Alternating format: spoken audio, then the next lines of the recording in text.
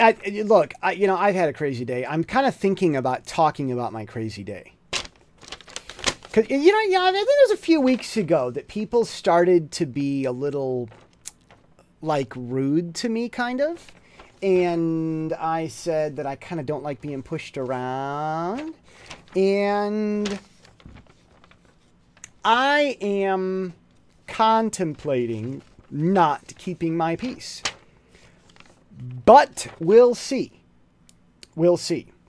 You know, I, I mean, you don't want to hear about my problems, but the, the, th- the thing is this I would only share my problems with you. I mean, you know, people being unethical, maybe illegally so, but very small, not that big of a deal.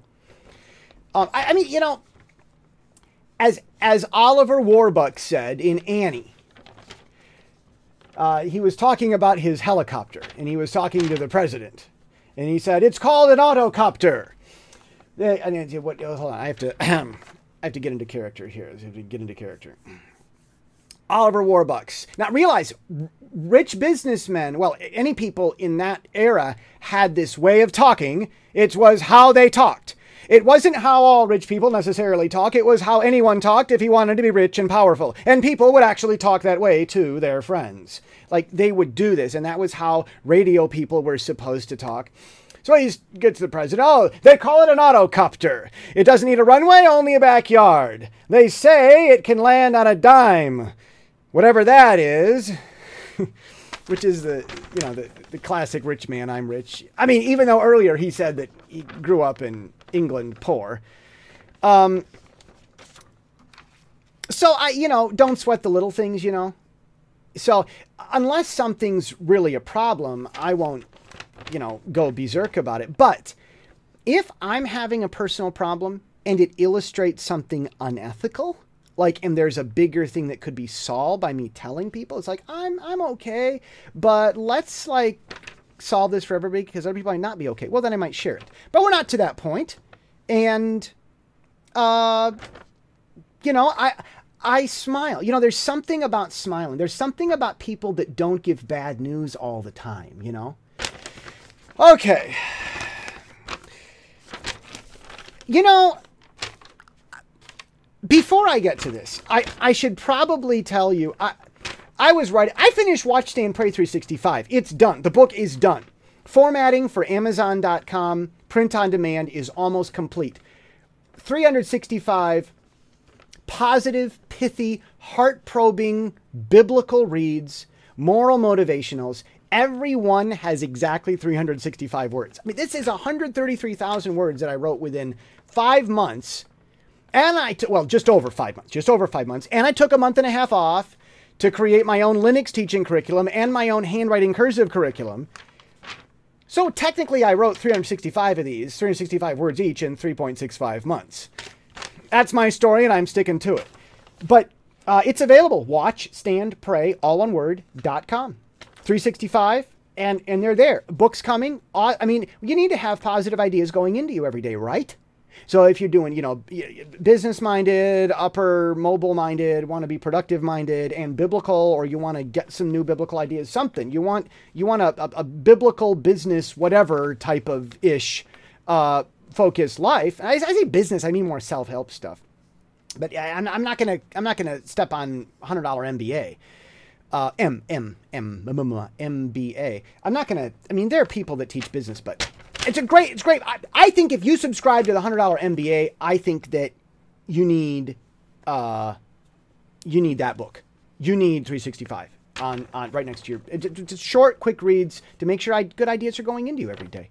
So hopefully that'll be on print on demand within a day or two. Most of the formatting's done, but the text is done. You can read it at watchstandpray.com.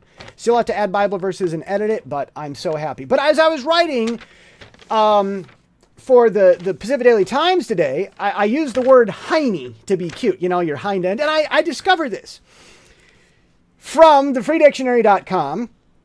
Redirected from hiney, buttocks. B U T T O C K S. It is plural. A buttock is either of the two rounded prominences on the human torso that are posterior to the hips and form Oh dear. Uh, from um, underlying uh, structure, it says. Anyhow, it's something there. I, I, I don't. I'm not interested in plagiarizing, but the freedictionary.com, I'll tell you what, I love you. Look up hiney, H I N E Y, hiney. It'll take you to the word buttocks, B U T T O C K S, which you can probably also find, prominences. So, in case you never knew, those two rounded things on your rear are called prominences. So, if if you need to refer to the rear, you can say, Are you looking at my prominence? or my prominences? Is prominence? George, is prominence plural? Oh, that's right. I've got to hurry up and get to this before we run out of time. Um, you know, you know what? I, it occurred to me this week. Before I get there, it occurred to me this week. I, I, no, no, no, no, no, no, no. Tra- track with me here. Speakers who ramble. I, I, I've been listening to people talk on YouTube and stuff. And and there are people that that that ramble when they talk. And I don't I don't mean a, a show business uh, changing the style of your voice and so forth. And and and look, Zach, I know what you're going to say. You're going to say, "Stop trying to sound like Rush Limbaugh." No, no, no, no people have been modifying their voices in front of the microphone for a long time. It's not only Rush Limbaugh. You, Zach, listen to somebody other than Rush Limbaugh. Uh, so I'll get to Zach in a minute. Hopefully less. But um, when when people kind of ramble like they're bad speakers, it's because they don't practice much. They don't practice talking. They might give a monologue once a week and that's it. They might they might uh, uh, you know do a rehearsal and then do two sermons as a pastor, but that's a monologue and that's it. It's, the same people every week. So when when you do a lot of writing, I mean, once Watch Stand Pray comes out, 365, Watch Stand Pray 365, once that's available in print, I will have uh, well over 600,000, maybe 700,000 words available in print. I mean, right now I've got half a million words in print. And when you use that many words and you read many of them every week and you do it, do it, do it, your ability to talk and write words increases. So people who ramble, haven't done their talking practice. Just so you know. Um, doing something regularly. I say this often, again and again. You've got to be regular. When we, uh, I, mean, I, I have friends. I love them. You know who you are. I love you guys. Mwah. You say you want to write, but you don't do it every week, and it's hard. You know, you do other stuff. I know you guys. You do really good other stuff. I wish I did other stuff more regularly, but writing and talking is something that I do regularly. Some people think I talk a lot, but I was talking with Zach this week. Zach's one of my buddies, and Zach said.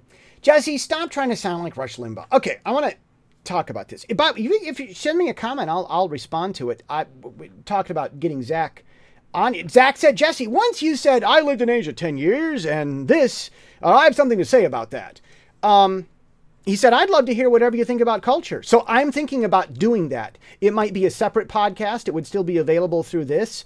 I would try to list it in iTunes for convenience, but you can use iTunes to listen to the podcast not listed in iTunes, such as The Rush Limbaugh Show. But um, talking with Zach, doing interviews. I'm thinking about getting into more of those. But about Rush Limbaugh, there is a, a standard of radio style. And like I say, in the 40s, Oliver Warbucks talks like people did on the radio in the 40s.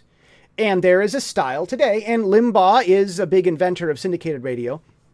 I've tried to follow that standard, but maybe I try to be like Rush in a lot of ways, but as far as the way that I talk, changing voice, watching different things, talking in different tones, to insert parentheticals, that helps keep attention and that helps retain an audience. And it's very important to do that. So, you know, content, what do you talk about? I'm not going to talk about my problems unless you need to know that. Uh, you know, for some reason, there's all kinds of reasons for uh, different styles and whatever. But I am thinking about getting some other podcasts coming and talking about what I might do in Asia. And oh my, I'm not going to get to it after all.